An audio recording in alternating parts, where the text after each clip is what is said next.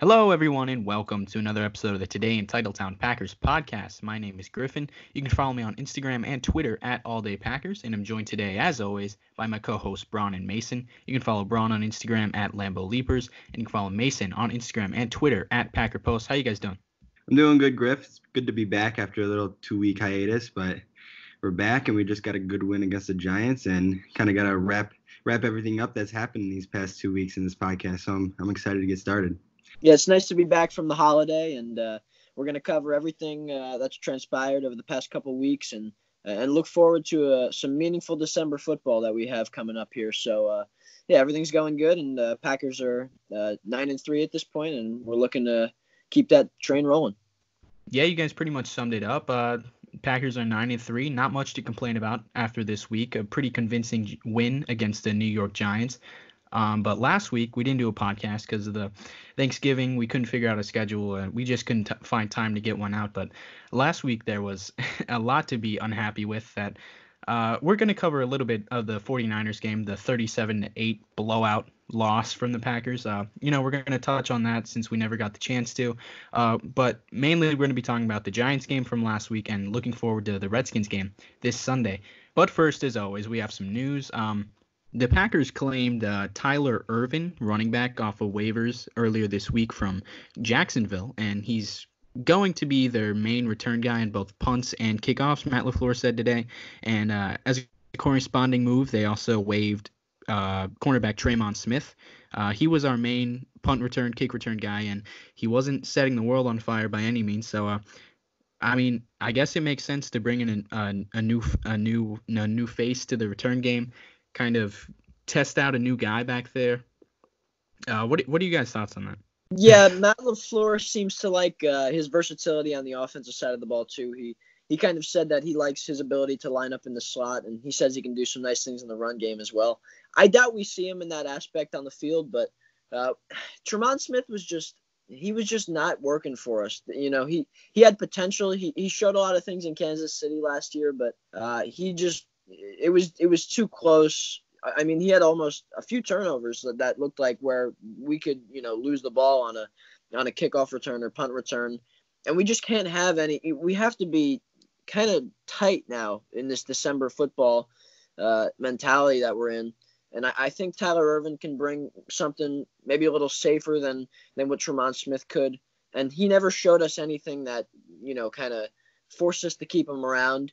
And I think Brian Gutekunst did a great job of, you know, recognizing something wasn't working and moving on and, and trying to get something else that will work. So uh, hopefully it works out for us. We need it big time. Yeah, the Packers could definitely use a use a little boost on special teams. This this unit this year is just as bad as it was last year, but this time it's in the on the punt return game. Last year was, you know, we had troubles with fielding kick returns. I don't want to mention any names, but it was just a disaster last year, and now this year you guys have probably seen the stats. The Packers have negative eight punt return yards so far through through 12 games, which would, if it ended right now, would be an NFL record by 30 36 yards. So, yeah, punt return unit right now is playing like one of the worst units ever. So, yeah, the Packers definitely need something new, just just something that could give a little boost because obviously it's not working at the moment.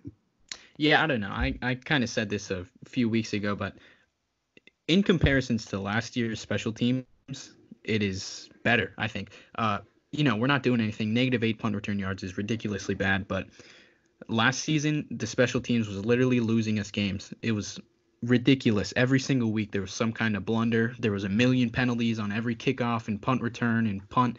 It was ridiculous. But this year, there's no production, even a little bit but they're not harming the team. And I special teams does it really matter? I mean, it makes good teams great. It can do that, but I don't think it really matters.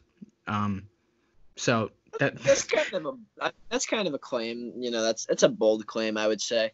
I feel like I mean that's that's what that's that's what wins you football games. What separates good teams from great teams, like you said, is you know the special teams aspect where you're flipping the field or you're getting yourself in good field position or or you're making a play, you know, knocking the ball out of a, of a returner's hands and you know getting that extra possession for the offense to kind of take advantage, uh, you know, even in a close matchup. Things like that. That's what separates good teams from great teams, and and that's why teams like the New England Patriots, you know, their teams are always in the top three in special teams every year, uh, regardless of what they do on the on the on the two other sides of the ball. And they're always in the mix, whether it's the Super Bowl or you know AFC Championship. They're always in the mix, and part of that is because of their special teams unit. And, Bill Belichick makes sure that's a stout unit every year. So uh, we've we've been in a transition period on special teams for sure. Obviously, our two guys, Mason Crosby and J.K. Scott, have, have been playing very well for us this year. And J.K. he had a he had a little rough patch uh, last month.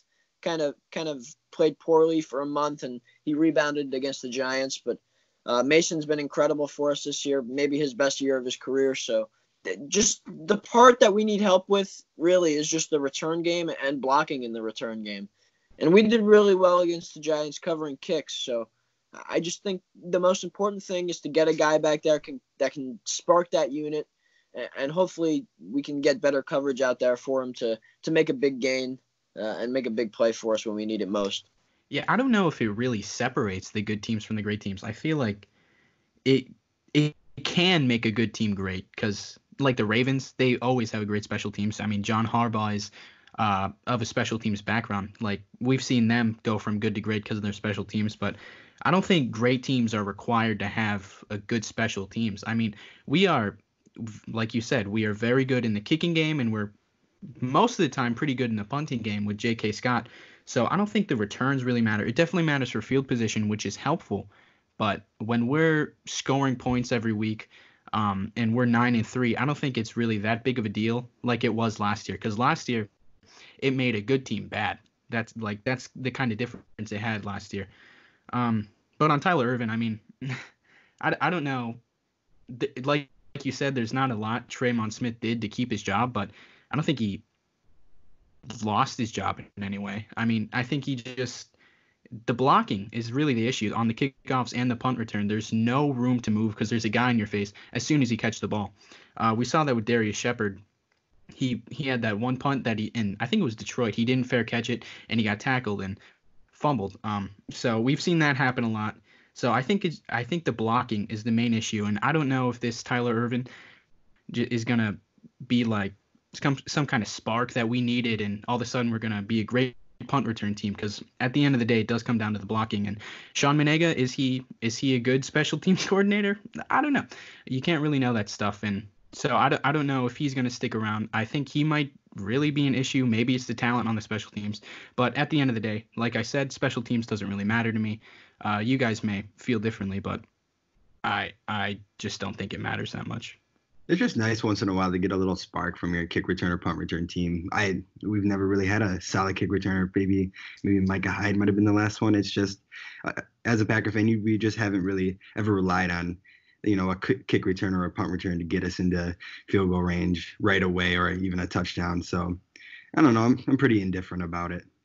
Yeah, that I do agree with. I mean, it would be really nice if Tyler Ervin all of a sudden comes in and gets us in great field position. That's the thing. That's the thing that really hurts us, especially last month when J.K. was kind of going through a uh, a down period in his punting game. Like he he would have every punt was almost every punt was terrible like he was averaging just over 30 yards per punt, which is awful. And uh, so the defense would constantly have to cover short fields, and where the often the opposing offense is practically in field goal range by the time they start their drive. And then on our side of the ball, uh, we would get no return yardage on punt returns or kick returns, so our offense would have long fields to drive down. And that is an area that I can definitely see the argument that that's hurting us as a team. Um, if Tyler Ervin can help in that area, then I think he will have some value. Just maybe he'll make one man miss that Tremon Smith maybe couldn't, or Darrius Shepherd, or anyone we've had back there. Uh, but I, I just don't really see any value in this this claim.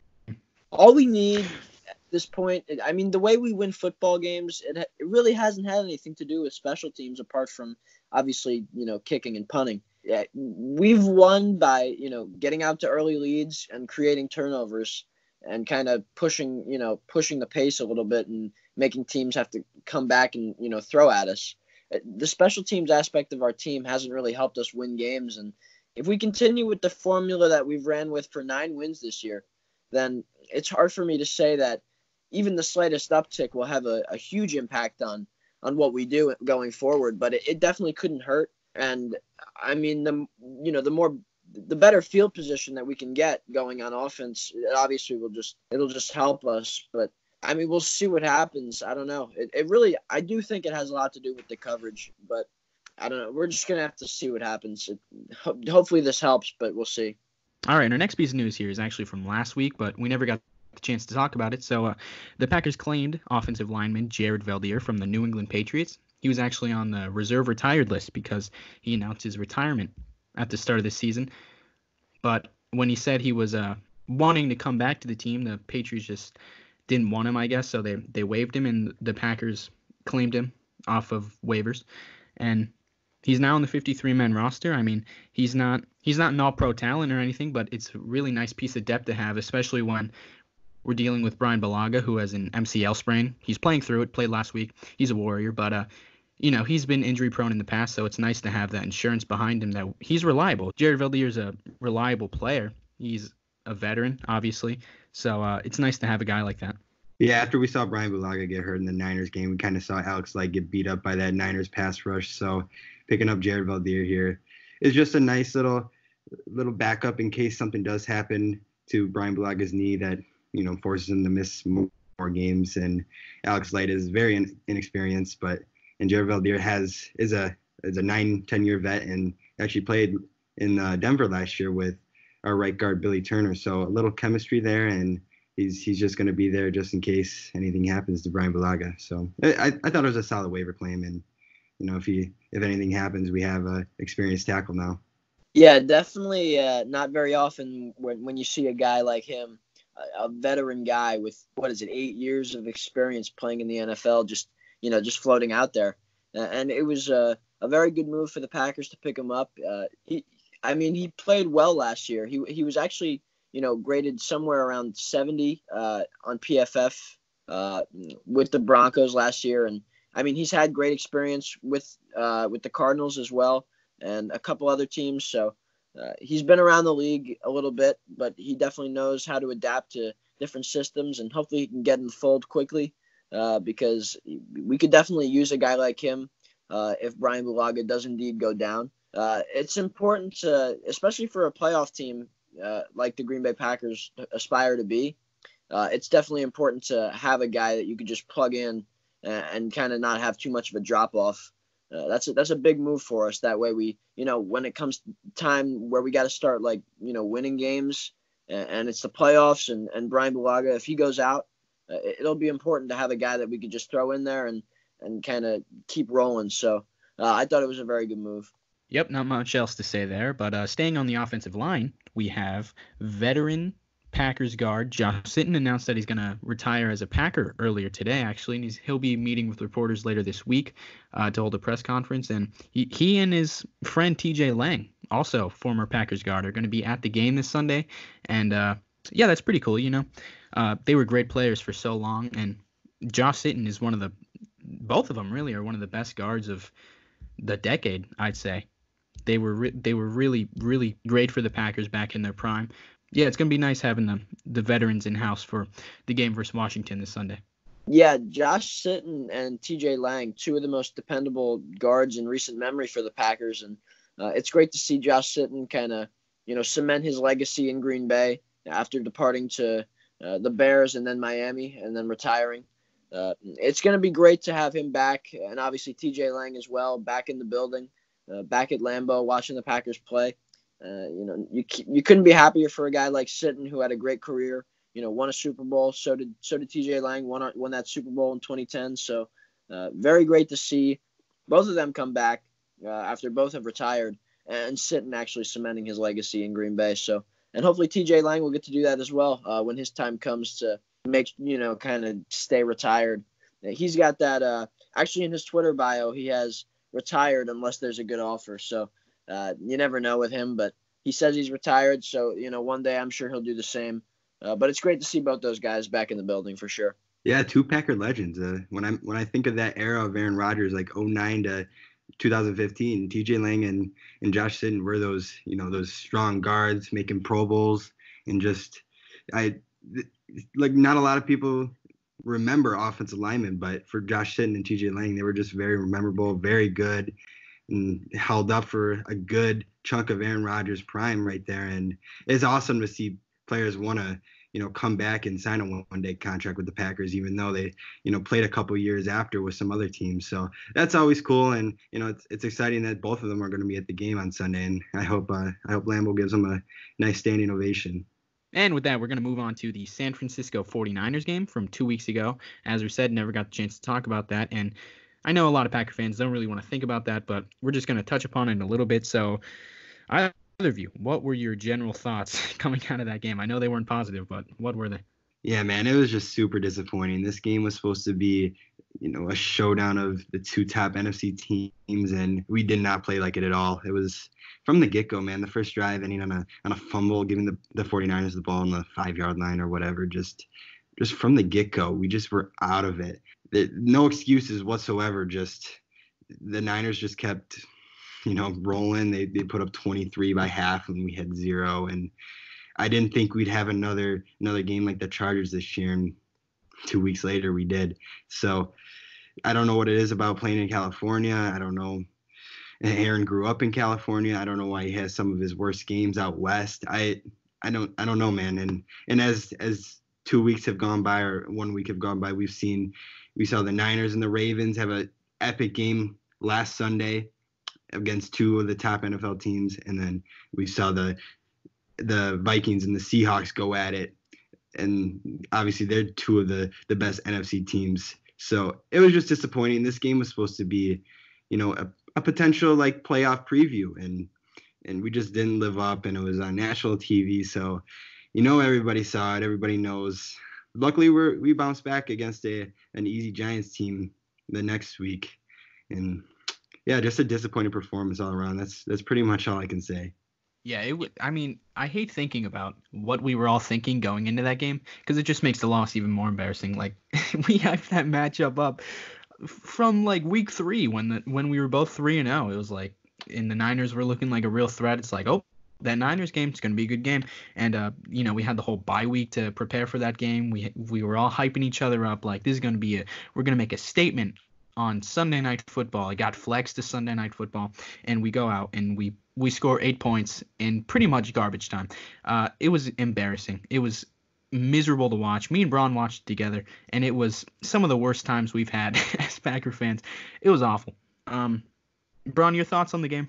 Yeah, it was just a really difficult loss. I mean, you're looking at, like you said, a matchup that everybody was anticipating to be maybe the best game of the year. And, you know, like you said, it was flexed. It's a Sunday night football. Everybody anticipating, you know, two juggernauts going at it. Can Aaron Rodgers beat this seemingly unbeatable defense?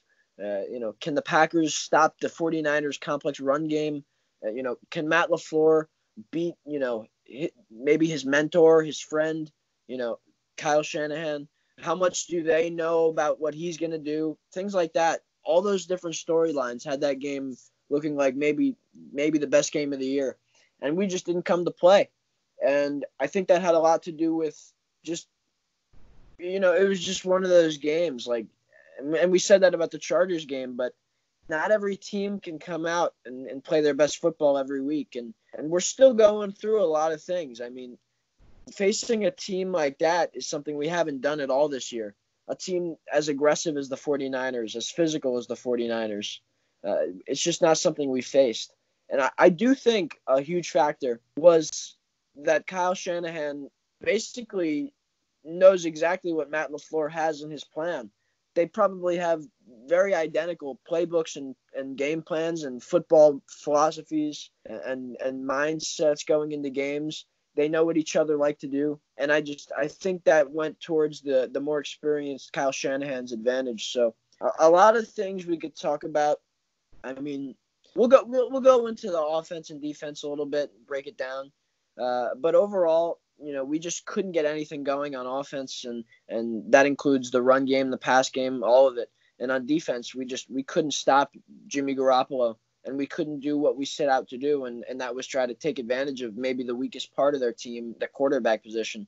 And they looked pretty sharp, and Jimmy Garoppolo, Jimmy Garoppolo looked pretty sharp. So uh, that was just a difficult loss. We just couldn't put it together.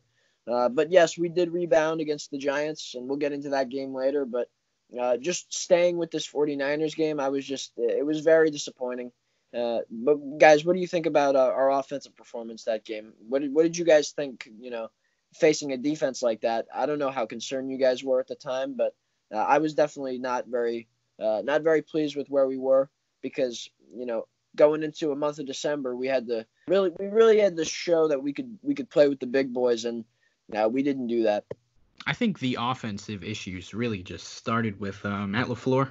I mean, you talk about how Kyle Shanahan maybe knew what he was going to throw at him, but shouldn't that work inversely as well? I mean, this is a guy who was under Shanahan for years. He he should know he's like great friends with him. He should know the ins and outs of the offense as well, just like Shanahan does of LaFleur's. And if anything, he should know more about Shanahan's offense because we are not running Shanahan's offense. We're running the Matt LaFleur offense. But yeah, it just looked it was it had to be so embarrassing for Matt LaFleur. I mean, he's he and Robert Saleh, the 49ers defensive coordinator, they were the best man at, best men at each other's weddings. That's his best friend over there, and he just got bodied on national television. It was it had to be so embarrassing for him. He had to look like such a little brother out there with the big dogs. Um, and I just think this. I mean, I said it about the the um the Chargers game a couple weeks ago, but I said that was the the worst we've seen from LaFleur, and I think he topped that with the the 49ers game, which I mean, those things happen with rookie head coaches. He's not going to be perfect. He's learning along the way, but this is definitely a learning mo- a learning moment that game, that entire game really. I don't think he did anything anything that he wanted to do that he expected to do. It was just it was just embarrassing on offense.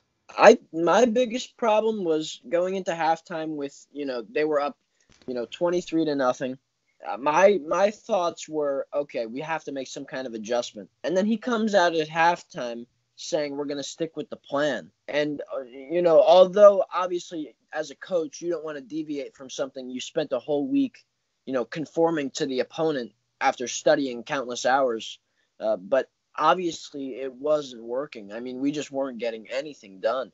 And even when we were just, and it's like the same thing that happened to us in all of our losses. Every time we got something going, a penalty would bring us back, or whatever would bring us back. And after the bye week, you'd think that's something we would have corrected and, you know, self scouted. And we talked about this self scouting during the bye week, and it just didn't come to fruition. nothing, nothing that we that we thought would get done during the bye week got done on that football field that Sunday night, and uh, it was disappointing. Uh, but but like I was alluding to, not changing something up, not dialing up something, both on offense and defense. We just we just played that game. That second half, we just played that game to lose. We had no, I, and Matt LaFleur kind of talked about it later in the week. He he's kind of you know people are asking him about uh, no huddle offense and you know just just the overall pace of play on offense. And we, coming out of the third quarter we had that drive where we scored that touchdown but it, it ended up chewing off almost the entire quarter. And you're just looking at it like we need to score more than eight points if we're going to win this game after we started down 23 nothing. So to come out and t- you know just run a huddle offense where we're taking off you know 45 seconds every down, that, that was hard to watch because as a Packers fan, you're trying to you know increase the urgency and, and Aaron Rodgers kind of wasn't allowed to do that based on what Matt LaFleur had in the cards and that that comes with the not making any adjustment and sticking with that plan. So hopefully he learns from that uh, going forward uh, because sometimes, and Mike McCarthy struggled with this at times as well. And it's the stubbornness, and it works to his advantage, and sometimes it doesn't work, like this time. But you have to be willing to adapt, and you have to be willing to adjust based on what the game is throwing at you. And you, you, you cannot be stubborn in that case because that's how you're going to win the game by adjusting.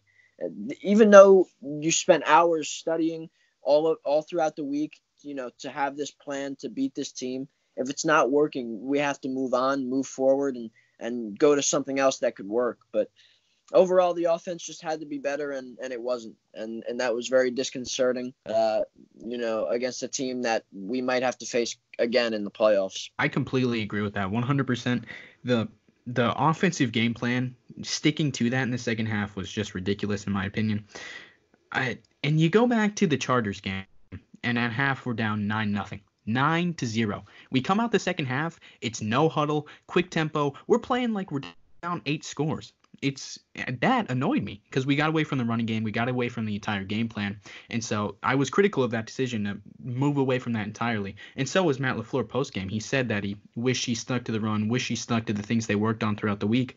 But then this game at half, we're down 23 nothing. And that that is like that and then we come out the half and we're like you said the same game plan take 10 minutes off our first drive the second half um like shouldn't have those have been flipped shouldn't have we been coming out sticking to the game plan in the Chargers game and then coming out of the 49ers game with the no huddle just ditch the game plan play backyard football offense I, that was so stupid to me it, I it was just ridiculous that we're acting like we're only down 9 nothing in in the second half of the Niners game when we were we were down three scores. Like, let's go. Aaron's like walking back and forth to the huddle. He's giving all these signals and taking his time, five seconds on the play clock. Like, can you snap the ball? Can we get the call in, line up, and run a play? It was ridiculous. Yeah, man, that is the one thing. It's been over two weeks since that game, but that that third quarter drive, we pretty much let the Niners have have the ball in both halves. The turnover right away, two minutes in the first quarter, gave it gave the Niners a free touchdown. Then the Niners get the ball to start the second half, and we stop them. And and we're obviously down 23. We're gonna need three touchdowns and at least two two point conversions. And we melt off eight minutes off the clock, like you guys were saying. 13 plays, just no urgency at all. And and you just knew the Niners offense isn't gonna just go away. We saw our defense get cooked by big plays in the first half. And then right after that touchdown, the Niners pull off a two play, 57 second drive capped off by a 61 yard George Kittle touchdown. And that was that was just a dagger. That was it was pretty much over after that. You just you just knew nothing. That was just that was just a killer. You waste eight minutes formulating your first touchdown just for the Niners to do the same thing in in a minute. It was just demoralizing. And yeah, I'm with you, man. I wish I wish that second half we we were more urgent and you know at least I wish we could have scored quicker and like ah, it just it pisses me off thinking about thinking about it. But yeah, that was that's the thing that sticks out to me after just looking back. Yeah, Aaron Rodgers kind of talked about that sense of urgency that you know everybody was questioning why why would we take such a drive that kind of just kind of you know we, we threw the game away at that point regardless of whether we scored or not uh, throwing eight minutes away for eight points it just was not it was not efficient and you know he was asked about it you know both after the game and later in the week and he kind of talked about how it, what that's not his call to you know run no huddle and do the thing that he does best, and uh, you know that was Matt LaFleur's call. Uh, so hopefully you know, and we've ta- we've also heard about some leadership meeting, uh, a leadership council similar to what we've seen in, in Mike McCarthy uh, seasons. Uh, you know, guys like the only confirmed guys that we know that are involved in that are, are Aaron Rodgers, Darius Smith, Preston Smith, and Marcedes Lewis. There could be more. Uh, but you have to think one of the things that they talked about was being being more urgent uh, on offense and maybe even the defensive side of the ball as well. Uh, that's got to be something that they had to talk about. And you know, they uh, the players talked about how they had some things that they wanted to to talk to Matt LaFleur about, both big and small. And Matt LaFleur was, you know, he had no problem with it, and he was willing to communicate. And and the players praised him afterward. You know, they praised him for, you know, just being the guy that that can relate to his players, that lets his players, you know, have input on everything they do. Uh, so that way, as a cohesive unit, they're going to be able to have the most success possible with great lines of communication and great play on the field as well. And, and that all starts from up top. And, and Matt LaFleur has done an excellent job in that aspect. So, you know, a couple bad games in LA and in San Francisco, you, you can't take away what he's done for the, for the Packers so far. And he's changed the culture and very very much for the better. So uh, you know i'm just looking forward to to what we can do going forward. And and maybe that'll start changing. Maybe you know when it comes time to run that no huddle uh, you know, LaFleur will be able to let Rodgers take the reins a little bit and, and let him go do what he does best. So uh, I, I'm just excited to see what we can do going forward.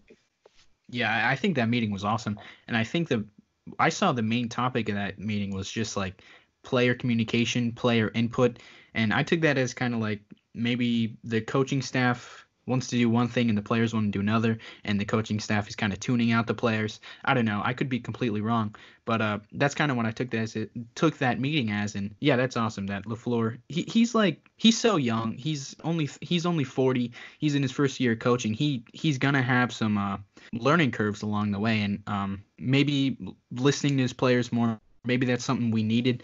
Maybe I mean you look at the the San Francisco game the defense was atrocious, and it looked like we were never in the the right positions on defense. No one was. Never looked like we were in the right play call. So maybe the defenders were like, "Hey, we know what we know what to expect here.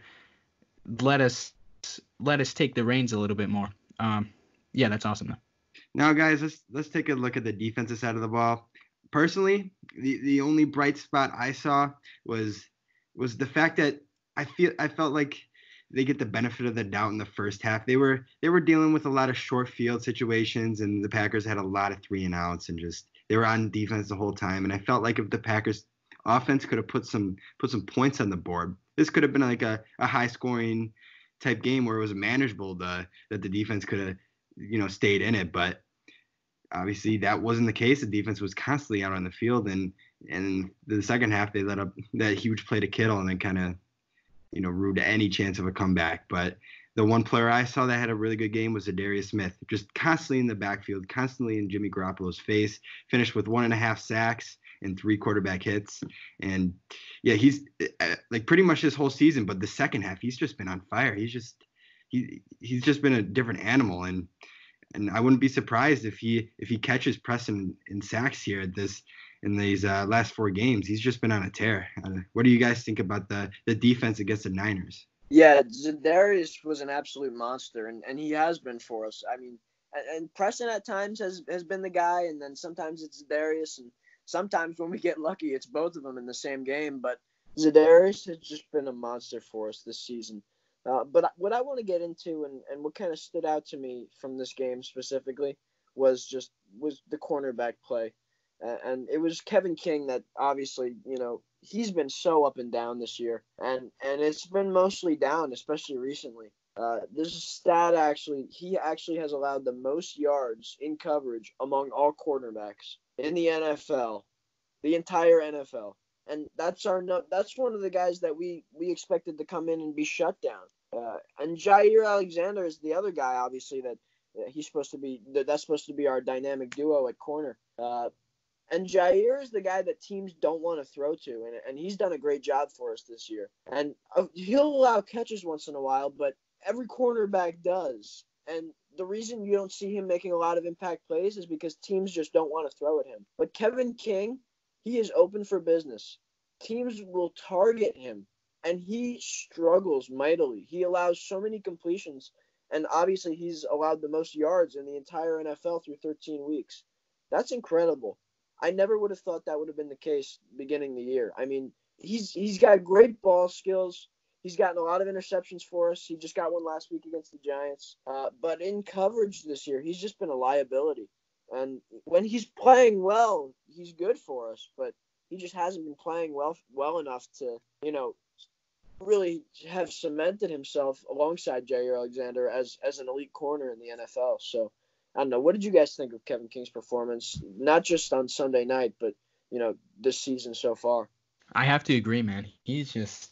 It's like I was so high on him. I've been high on him his entire career. He's been. I'm like an avid defender of Kevin King. Like you said, Jaire is locked down every almost every week at least. He is shutting down whoever's across from him. So nat- naturally, of course, teams are going to attack Kevin King because he's our worst corner, and every week he's doing that. The Giants uh, scored a touchdown on him. I thought he played pretty well versus New York, but uh, it's just it, every every week teams are attacking him, and it's an issue. I think his spot has to be up for competition, right? I mean, it's just not good enough. It's not good enough when teams can attack him. We know they're going to attack him, and it's still an issue every single week. But uh, I mean, as a defense, I think the issues have been there all season. It's the two the two big ones are explosive plays allowed, which we lead the league in. We lead the league in uh 40 40 plus yard plays allowed on defense, and then run defense. I mean, our run defense was atrocious versus San Francisco, and we allowed a garbage offensive line in New York and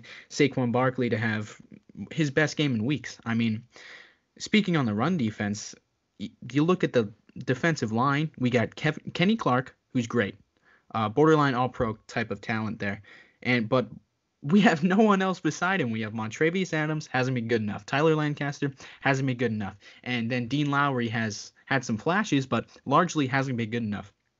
We have a, a bunch of replacement level guys on the on the defensive line, and then Kenny Clark. And that's easy to take care of if you're opposing offense. You just double him because no one else is going to win their one on ones. And the running lanes are there every single week. And the running lanes, who's going to fill those? It's supposed to be our linebackers. And when we have Blake Martinez as our best inside linebacker, uh, we're going to have a bad run defense. And we have we've seen it all season. Blake Martinez. I, th- I, I love the guy. He seems like a great dude, but I, I don't know if he's the guy. I don't know I don't know what he is at this point. This season, he's been so up and down, and mostly down, really.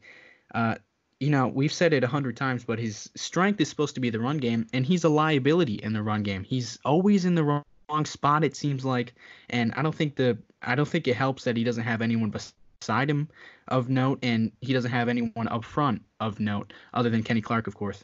So the run defense is just it's in it's an issue but the explosive plays are just as bad because we it's it's week 14 and this has been an issue going back to last year. I, it's got to be a Mike Pettine issue right? Because we have so much talent in the secondary. How are we allowing this many explosive plays in the pass game? It's kind of ridiculous. And going back to the San Francisco game it was the worst it's been probably the, the secondary play because we were getting carved up and maybe that's Kyle Shanahan. Maybe it's the the speediness, the quickness of the San Francisco receivers because our defensive backs are very aggressive. They're going to jump on double moves. They're going to bite on that type of stuff, which is great when it's uh when it's when it's like a, a curl route or something like that, and the cornerbacks can break up a pass. But it's awful against a smart team that's going to take advantage of that and run double moves all game. And that George Kittle like uh that corner we or that corner post route that he ran for the 57 yard touchdown it's just ridiculous. And we, those are two areas that we need to clean up. We've been saying it all season. We need to clean up the we need to clean those parts of our defense up, and it hasn't happened. I'm starting to think that's just who we are on defense. And yeah, I think that's definitely a Mike Pettine issue. Yeah, but I mean, you look at our defense and our formula for you know winning the football game on defense has just been to tighten up in the red zone and create turnovers and and in the red zone we've you know, we're top three in a lot of major categories. You know, scoring efficiency, 75% of the time teams score in the red zone. And that's that's a great number considering, you know, you're you're right there in prime position to score on offense and our defense is is putting them away one out of four times. So, uh, and then quarterback rating, uh, opposing quarterbacks have a 65.9 rating, which is second in the NFL. Uh, completions, 45.9%. That's second in the NFL touchdown percentage is only 11.5% in the red zone. That's first in the league. And then we have four red zone interceptions, which is also first in the league. So uh, teams are giving we're, we're giving up chunk plays on, and we're giving up a lot of third downs, you know, to offenses during the drive. But then we get really stingy when it comes to you know the short field and the red zone. So uh, it's it's a it's an interesting formula considering the kind of team that we are where we where we thrive in the pass rush and we kind of make we want to make it easier uh, on our secondary, which is not that great, and it hasn't been that great this year. But it, whatever, I, mean, I don't know. It's it's hard to it's hard to say that's truly working because of what teams are kind of doing against us on that side of the ball. And I don't know. We're it's gonna have to we're gonna have to make it work. We're gonna have to make it work with Blake. We're gonna have to make it work with Kevin King. If we want to start winning football games, it's gonna have to start working. So we're gonna have to figure it out.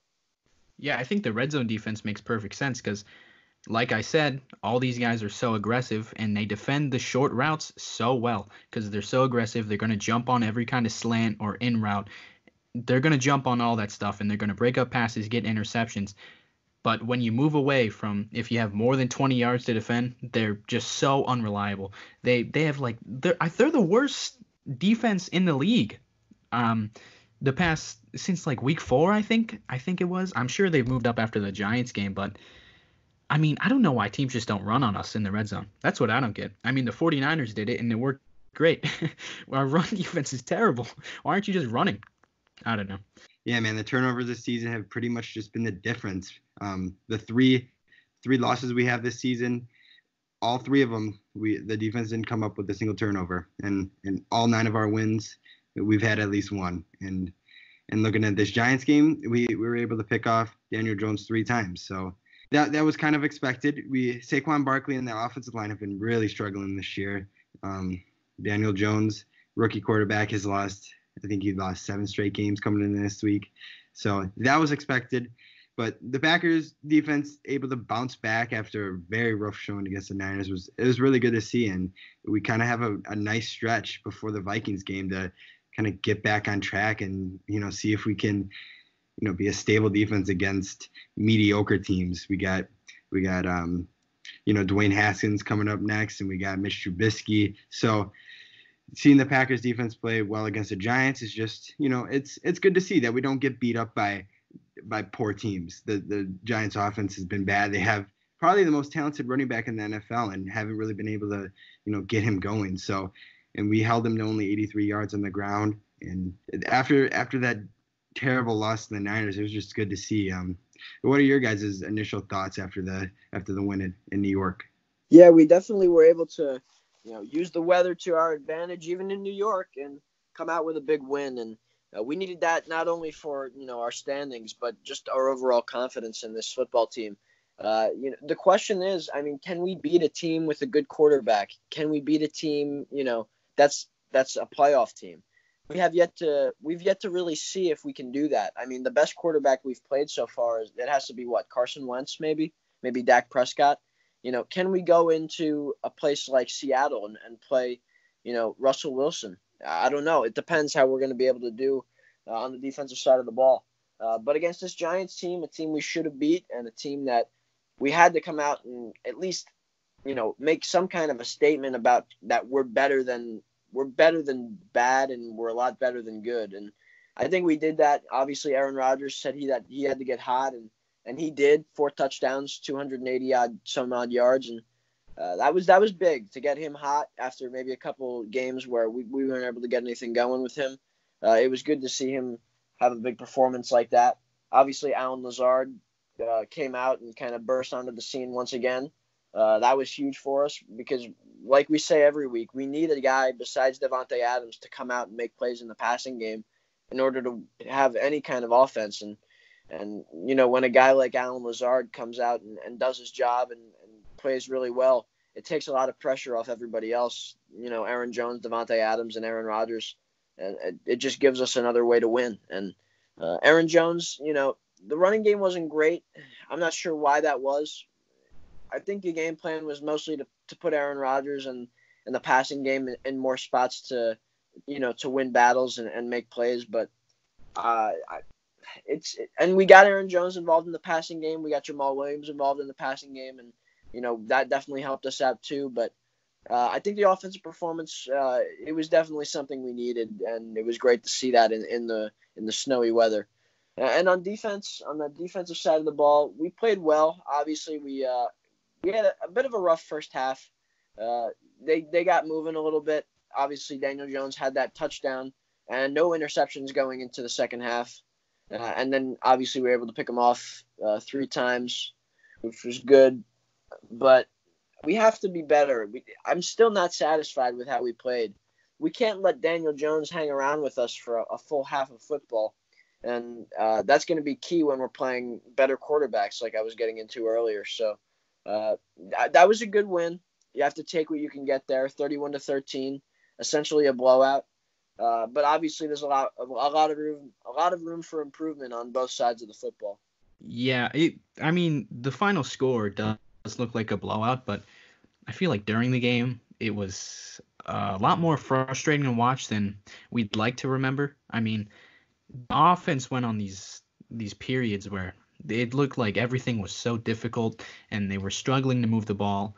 Uh, a few punts uh, in the middle of the game. We we were at 17 points. It was the score was 17 to 17 to 13 for quite a while. I think almost the entire third quarter.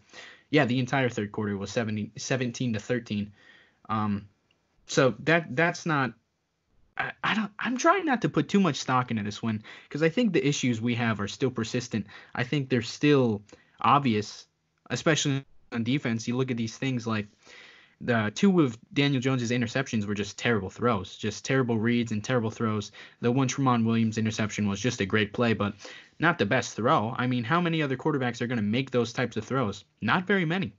I, I like you said against a good quarterback, I'm very scared. I'm very scared of what a good quarterback is going to be able to do against Mike Pettine in this defense. I, I keep saying Mike Pettine, but I really do think he's the issue because we have so much talent. We have Darnell Savage, who's a playmaker, Adrian Amos, who's so reliable, Jaire Alexander's a star, Kevin King is probably the weakest part of our secondary, um, and then we have a great pass rush. I just don't get it. Um, and then in the offense, this is the worst secondary in the league. It is just awful. And so obviously the game plan going into it was put the ball in Aaron's hands and let him just carve him up, which he did with uh, four touchdowns and a 125 rating. But uh, the run game was just, it was going nowhere. It was weird. It was because the Giants' run defense is not good. A lot of teams might have a bad secondary but a good run defense. That's not the Giants. They're just a terrible defense. Um, it was just weird watching Leonard Williams have a really great game. He hasn't had a good game in how many years? Um, they were just shutting everything down up front which was crazy to me. I was not expecting that at all. In the cold weather, I thought we would have a, a pretty good day on the ground, but we did not. Aaron Jones had maybe his worst game of the season, um, and the blocking was just not good enough for either of the running backs.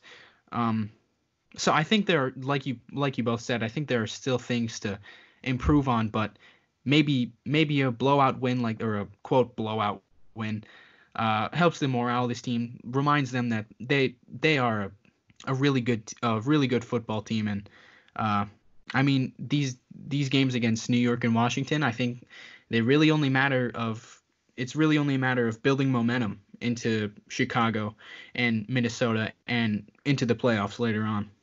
So I don't want to put too much stock into this win. Uh, it's just nice to get a win in December. Yeah, you talk about you know these games coming up, and really when it comes down to you know the playoffs, it's about which team is hot at the right time, and, and that could be us. You know, a big win here, thirty-one to thirteen, and, obviously coming up we have the Redskins, the Bears, and if we can if we can kind of finish this season without a loss, that could be huge for you know not only our seeding where we would likely get a bye if we finished at thirteen and three, uh, but it would be big for our momentum and and our playoff chances. But uh, you know, going back to this this Giants game, I really think the reason we won uh, was because of a, a, sudden change in, in our ability to convert on third down uh, after really a struggling. You know, we, we struggled in that area against the 49ers. Obviously, that has a lot to do with the opponent, but uh, you know, we, we we converted a lot of third and longs that we weren't getting against the Niners. We even converted a fourth and we even converted a fourth and ten.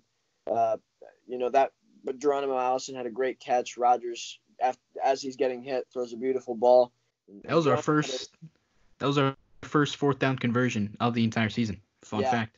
Yeah, that is that, and it was a it was a big one because you know they would have gotten the ball back, and we would have only had a four point lead, and that's the all gas no brakes mentality that that Matt LaFleur pushes to his players. But yeah, Geronimo had a nice game as well. Uh, forgot to mention how he kind of rebounded after really he hasn't been great this year, but he had a nice game. Uh, but what was interesting to me was this was a game where we we lost the time of possession, which is something that we've kind of won in nearly all of our wins.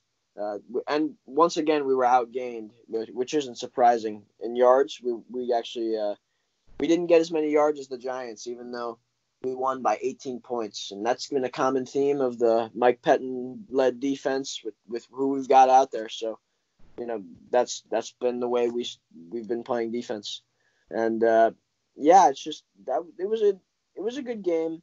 A lot of things to take away, and a lot of things that we can use to hopefully move forward, and hopefully we can come out with a win against uh, a similar team like the Washington Redskins, who might have an even worse quarterback at the helm. Yeah, it was it was fun to see the offense have fun towards the end of that game. The Packers had a had a 10 point lead and Aaron Rodgers called the audible to get Marcedes Lewis a touchdown on the on the 1 yard line for his first score as a Packer and it's been he's been here for a season and almost and a, a season in 12 games. So that was that was cool to see. It's cool to see that they're having fun and you know playing as a team even even after that the loss last week. So and another thing is I, I honestly think we found an, a solid wide receiver too behind Davante Adams and Allen Lazard. He's he's just a big body. Like I, I don't know what preseason me was thinking. I really was a Darrius Shepherd kind of. I wanted him to make the roster and, and see if he could be our, our Randall Cobb replacement and play in the slot. But this Allen Lazard guy is he's going off. He's just catching everything. Aaron seems to have a good chemistry with him. Aaron hit him on that that deep free play ball, and then obviously he scored that long touchdown too. It's that was that was something that we were kind of scared about earlier in the season when Geronimo was struggling and MVS kind of just disappeared from the offense. We weren't sure who the second guy would be in the in the passing game, but Allen Lazard is honestly turning into be that, and I'm and it, that was such a good find. I'm glad he was he was picked up on the practice squad after he got cut in the preseason. That he's turning out to be a real contributor on this offense. I mean, outside of Davante, is there a guy Rodgers trusts more than Lazard right now? I mean, Jimmy Graham maybe, but yeah, Lazard's just been been a great a great find by Brian Gutekunst picking him up last year from the Jaguars practice squad. Uh, yeah, he's he's really looking like he could develop into our next like uh maybe uh, Geronimo Allison's a bad example because he never really panned out. At least he hasn't yet. But uh, yeah, like that was that was just a great find, uh, undrafted free agent that we developed and Aaron worked a relationship with, and maybe Lazard's going to be even better than Geronimo's panning out to be. Uh, it certainly looks like it right now, at least, because he looks like he can play with the big boys. you know what I mean? He looks like a a proven vet out there sometimes, and he makes all these tough catches that maybe may, who else on the roster can make some of these like really contested catches. He's got such a big frame. He can he's his catch radius is really wide. He can haul in almost anything, and it's great to have a guy like that on a roster with very little receiving talent. Yeah, I mean, this was a big game for for him and and even some of the other guys. Uh, like we talked about, Geronimo had a nice game. Uh, talk about reliable guys, though. I mean, Lazard has just he's been reliable, and after Adams, we haven't had that. We've had guys who are too inconsistent to really count on when it matters, and just that reliability, that consistency is that's really all. That's all you can ask for. Just a consistent player that way you know what you're getting when you go out there on Sunday and, and play a football game. So, and and another guy that's really consistent is Jake Kumerow, but he's kind of he really hasn't gotten a lot of play time recently. So, so you'd like to see a, a guy like him get more playing time as well. Uh, but Geronimo had a nice game. Hopefully, he can kind of uh, add to that uh, coming up here down the stretch, and and hopefully Marquez Valdes-Scantling can kind of just just just do something. You know, I mean, he had that great uh, that great game against the Chiefs, and since then he's been kind of he's just been missing in action. Like I don't even know how to put it. He's just he really struggled, and even even when he's gotten opportunities, he's dropped the ball. You know, whatever the case may be, he's just not getting open. Whatever. So uh, we're missing we're missing a guy like EQ right now, Equanimeous St. Brown. I definitely think we're missing him, and it, it's a shame he had to be put on I, on IR for the season. But uh, with the guys we've got, I think we can do some damage. We just have to get hot at the right time, and and last game was a good start, and maybe we can kind of settle in even more against the Redskins. So we'll see what happens. Yeah, EQ would be great right now. I know, I know, Bron. You also love EQ. I mean, I've been saying it since last year's draft. I think he's better than MVS. Uh, he's just so talented. He's so big. He's so quick. He's got great hands, which is something that maybe MVS doesn't have. Um, I mean, in hindsight, what is Brian Gutekunst thinking with that decision to put him on IR before the uh, the 4 p.m. deadline so that he can't return this year? Like what? That was that was so weird. This has been an issue going back to training camp. Our receiver depth. We knew it was going to be an issue. Why are you just shelving him for an entire season? I don't know. But it, yeah, it he was, would definitely. It was, it was to keep Darrius Shepherd on the roster. That was really what what it came down to and that that's really disappointing. I mean, I don't know. I we don't know the extent to which his injury, you know, limits him from actually coming back or not. But uh, if, if his injury wasn't as bad as people are, you know, assuming it was because he was put on IR to start the year, I mean that's just very disappointing. And I, I bet that's a, a move Brian Gutekunst wishes that he didn't make. That's like a whole like, I mean, you think long term that could impact his career. A sophomore season for a young six round pick like that is so important. This year of development in a new offense, and uh, I, I don't like thinking about what he could be doing right now because I think he'd be really good for us right now. Um, yeah, you kind of saw that after Geronimo. I mean, he started hot last year, and EQ flashed some things in his rookie season. Uh, and after Geronimo sat out the year, and now he's back, and we expected him to kind of pick up where he left off, and he just hasn't done that. So hopefully EQ can do that. Uh, I mean, it's going to be tough because now he's coming back after not playing football for an entire year. Uh, it's just a tough blow for him, and that was that was a tough blow for us as well as a, as an organization. Like EQ had chemistry with Rodgers. We saw it in the in that 49ers comeback drive. He he had that crazy sideline catch, and the, when um you know we were driving down the field with no timeouts, and just Aaron being able to have the trust in him to you know throw it to him with with, with the time kind of ticking down and trusting a rookie. Like I, I do feel like I agree with you guys. I feel like he could be a big contributor on this roster. He he's kind of I think Allen Lazard has kind of taken the role that Equanimeous could be could be in right now. Yeah, that that that play in uh, against San Francisco that was that was crazy. I mean, we we never really see Aaron go to guys he's not too familiar with in moments like that, especially. And that was such like a that was it was a back shoulder throw, high risk throw. It was a uh, sight adjustment that he trusted EQ to make, and he did. He had also had that uh, a couple nice catches at Minnesota last year, week 12. Yeah, I mean the ability to get his feet down on that play, I mean I, that had to just immensely increase his chemistry with Rodgers and and, tr- and his trust as well. And yeah, like you said, Allen Lazard, I feel like he's got a similar body type, and they've got similar catch radiuses.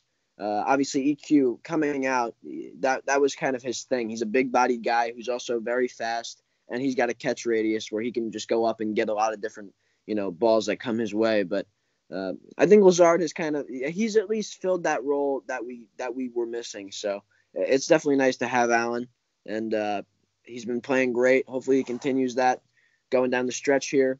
And uh, yeah, I mean, just it's nice to have a guy that hopefully we can start to rely on even more uh, to be inconsistent, uh, to be a consistent, you know, number two guy for us that we haven't had so far. All right, let's move on to a preview of this week's matchup with the three and nine Washington Redskins.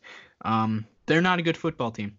Obviously, they're not having the season maybe they hoped for with Dwayne Haskins. I mean, they fired Drake, Jay Gruden midseason, which is never a good sign for a team. Uh, their front office is out of their minds. They got no clue what they're doing over there. But they have won two games in a row, including a win last week against the Carolina Panthers. And it was a pretty convincing win, really. So maybe they're getting hot. Maybe they're going to challenge us a little bit more than the Giants did. But uh, I, I don't see them as a threat, really. I mean, everyone everyone's kind of saying right now, oh, don't take Washington lightly. You know, uh, this could be a trap game. But th- that's so stupid. I mean, you should never take any NFL team lightly. You know what I mean? Yeah, I mean, this game is kind of similar to that matchup with the Giants. Uh, I mean, well, last year the Redskins did end up going in and beating us. I mean, that was one of our nine losses last year, but still, I mean, that wasn't a game people expected us to go out and lose. So, uh, I mean, yeah, similar to the Giants, they are coming off two wins though. So they were one and nine before. Uh, you know, over the last two weeks, they've actually picked up two wins, one against the Lions and then one, like you said, against the Panthers. So uh, I would have to think that Dwayne Haskins is a bit worse than than Daniel Jones, uh, but still, I think they're gonna. I think their offense is gonna give us a lot of problems, and I'm just saying that because, and I'm I'm just saying that because our defense just gives up a lot of big plays and yardage, and against good running backs, we're gonna we're gonna crumble, and they've got two or three of them They've got Chris Thompson, that they've got Adrian Peterson, and and they've got Derrius Guice back from injured reserve, and he's been on a tear. So I don't know. It, it's going to be a tough matchup. They don't have too many threats at receiver, but obviously they've got Terry McLaurin, the the rookie who's been excellent for them this year. But uh, Jaire can probably take care of him. Uh, but I'm very concerned about their run game, and I'm concerned about Kevin King. I'm concerned about a lot of different things. Uh, I'm not concerned about our pass rush against this uh, Redskins offensive line. Uh, but it's a game we should win, and we should win big. Hopefully, we can capitalize off a, off that Giants victory. You know that that kind of huge win, that blowout win. Hopefully, we can do the same, and that's just going to build momentum for us. And and like we said, we need to be one of the hottest teams with, with a hot quarterback. Uh, we need to be playing at our best uh, in December, and as these playoffs uh, are coming around, and we need to get you know the best seeding possible, and we've got some tough matchups ahead. So uh, this will be a good a good game to hopefully propel all that into uh, tough matchups against both the Bears and the Vikings, and then the Lions right after that. So uh, yeah, this is a big one. Like even after the Redskins best two games of the season. They beat the Lions and the Panthers. They're still ranked last in points per game, yards per game, and time of possession per game they got Derrius Guice back, like you were saying, and he's been he's been on a roll lately. These past two games, he's pretty much propelled them to to both of their wins. But but still, this this Washington offense is is it's just terrible. Dwayne Haskins is not he's not ready for NFL play yet. They're kind of they they threw him out there a little too early. Um, they got Case Keenum on the bench just in case, but still, like I I really hope if if this Packers defense struggles against this Redskins offense, there there's going to be a little concern. Definitely. Um, this is the type of game. I hope it's not a trap game, but this is the type of game the Packers just have to go out on their home turf and just and just dominate. Like the the their Washington defense is is okay. It's in the middle of the pack, kind of leaning towards you know bottom 16, but right in the middle. But but still, the Packers are coming home for the first time in a couple weeks, and it's yeah, you just gotta you gotta beat up on these Redskins. You you really do. There, there should be no excuse. Yeah, no excuses. I don't care what they've done the past two weeks. I don't care uh, the the trap game. Like they are a bad football team. They have bad talent on that roster. They don't have a head coach right now. Dwayne Haskins is not developed at all. I think he can be with a competent head coach, which he doesn't have right now. But yeah, there are no excuses. The Packers should win this game and win by double digits. Um, will they pose a bigger threat than the Giants did?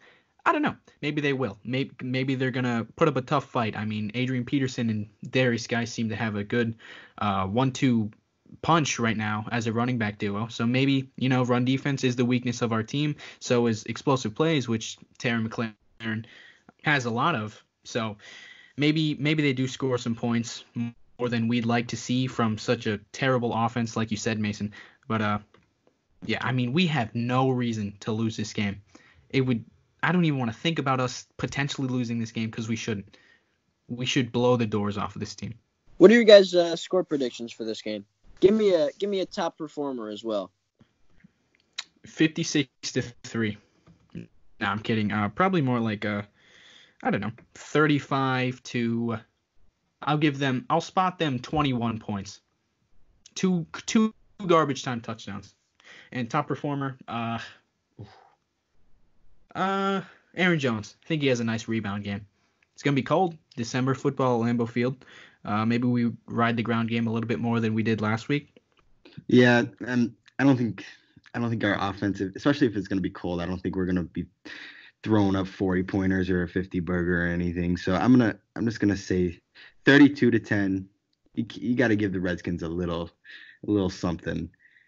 And the top performer for me would probably be I'm gonna go with Aaron Rodgers. I really do think Aaron Rodgers is kind of realizing he's he's not on pace to have that that crazy, you know, MVP type conversation type season that he was having, you know, after the Raiders and Chiefs game. So, and after throwing four touchdowns last week, I think he's gonna gonna want to throw maybe three or four more this game. So I'm gonna say Aaron Rodgers. Yeah, I'm with you on Aaron Rodgers there. I, I think he, you know, he said he's got to get hot, and, and I believe that he will, and I think he's going to continue that. Uh, I'm going to say he gets. I think this is going to be a big game, and I just really feel like this is going to be one of those games where, you know, the Giants game was like just a start to what we what we got to do, and maybe we can just like like I said, we can propel to you know even better this week against a similar team. I'm gonna say we do get up to 40. I'm gonna say 42, and I'm gonna say I'm gonna give the Redskins 23. And I think Rodgers is gonna throw for. I'm gonna say he's gonna throw for four touchdowns. Jones will get two on the ground, uh, and I'm gonna give Rodgers the performer, uh, the the best performance. If we can score 42, it won't even matter the opponent. that'll just be that'll just be amazing. That'll be we'll all be so hyped rolling into Minnesota. That's uh, gonna be. I mean, yeah. Again, with with big division games coming up, we need all the momentum we can get. So, yeah, having two big wins, uh, you know, in a row would be nice. Although history wouldn't tend to lead us in that direction because our biggest two wins this season, I mean, biggest as in most impressive, were uh, Raiders Chiefs, and then we laid an egg versus LA Chargers. But uh, you know, I think those two, maybe those two losses out in California helped this team, help Matt LaFleur realize what he's bad at, helped him fix it. Maybe we did some self scouting after the 49ers game instead of the bye week, which makes no sense, but maybe we're a different team. Maybe that's in the past, and we're on a December deep playoff push run right here. Hopefully, we can uh, keep that going against the Redskins this week. But uh, yeah, that's going to do it for the podcast. Uh, we'd like to thank you for listening, and you can follow Bron on Instagram at Lambeau Leapers and Mason on Instagram at Packer Post and Twitter at Packer Post. And you can follow me on Instagram and Twitter at All Day Packers. And yeah, thanks for listening, and uh, we'll see you next week. Go Pack, go.